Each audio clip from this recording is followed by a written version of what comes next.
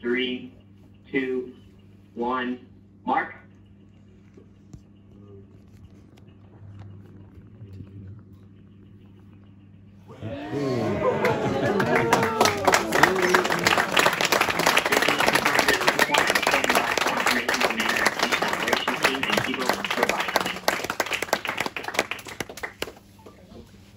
Please stand by for official timestamps and state vectors of the ISS.